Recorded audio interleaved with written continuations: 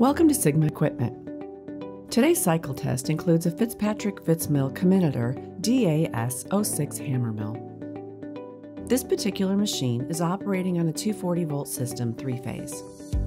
Milling equipment uses blades, hammers, or other methods to turn large particles into a finer material, usually powders.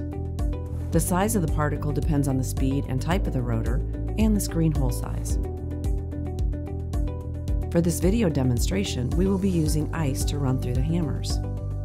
The motor on this machine sits on a track that can be hand cranked to adjust for different sized pulleys and belts on the motor.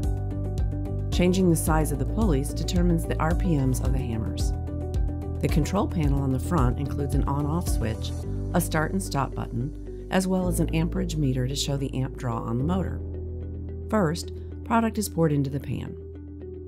Product will then fall down through the chute to enter the milling chamber.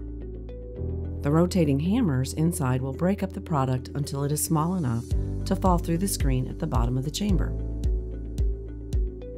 Different size screens can be used to determine the fineness of the end product. The product exits the screen and falls into a container to be used in the next process. To learn more about this hammer mill and other equipment, please visit us at sigmaequipment.com.